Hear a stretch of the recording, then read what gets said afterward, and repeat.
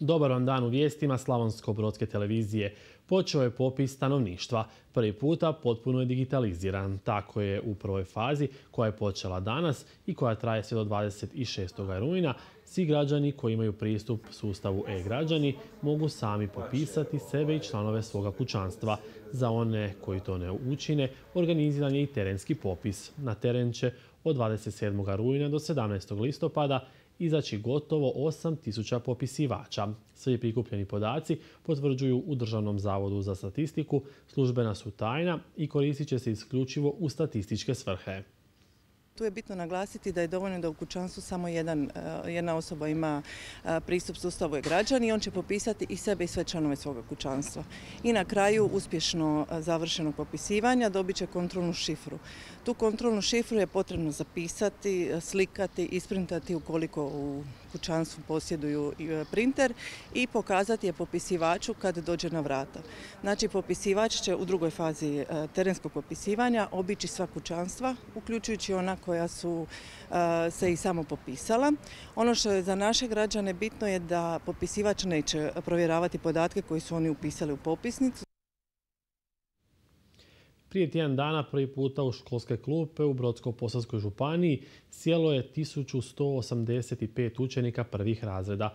Upisano ih je 4,2% manje nego prethodne godine, odnosno čak 10% manje u odnosu na posljednje dvije godine.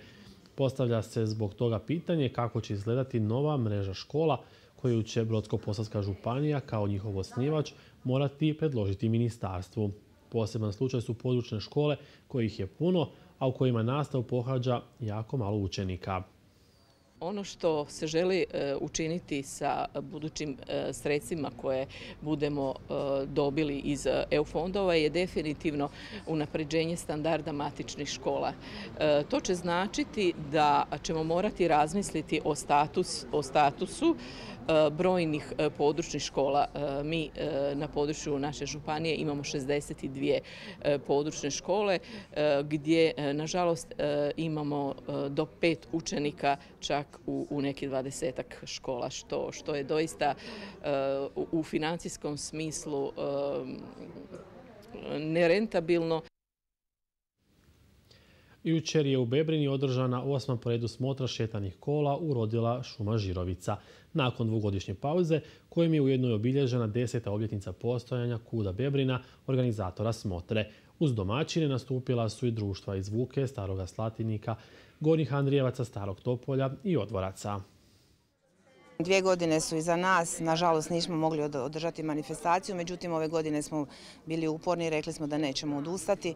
Ovaj, osma po redu je Žirovica, trebala je biti deseta, ali evo, i osma neka se održi. Vrijeme nas je poslužilo konačno da imamo lijep dan, da nam je, ovaj, da nam je sunčano, da možemo pozvati goste jer i mi često idemo na nastupe, često idemo eh, kod drugih ljudi pa onda moramo uzvratiti te nekakve naše odlaske, a i voljeli bi, kažem, volimo nastupiti u našem selu, to nam je isto vrlo bitno jer, kažem, danas naši ljudi vide šta radimo, vježbamo i sve ostalo.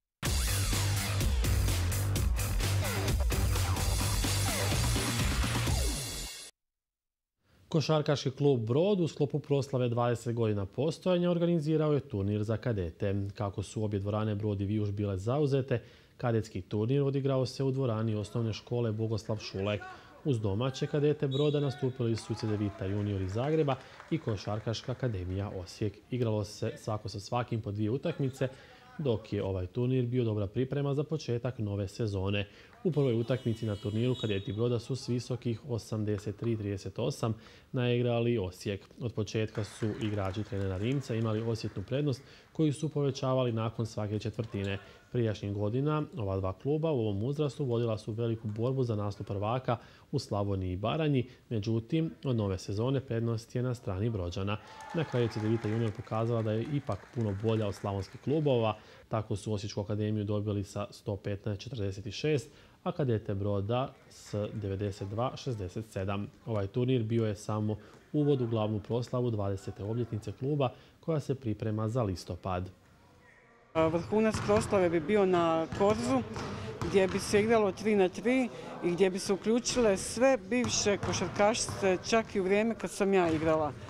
Tako da znači to će biti to jedan projekat koji smo jako dobro zamislili, a ovo je znači jedan početak sa ovim muškim turnirom kadeta a dalje ćemo vidjeti kako će se odvijati, znači sve ovisno o epidemiološkim mjerama, znači tu moramo puno iskomunicirati sa epidemiolozima, sa gradom, sa jako puno ima posla.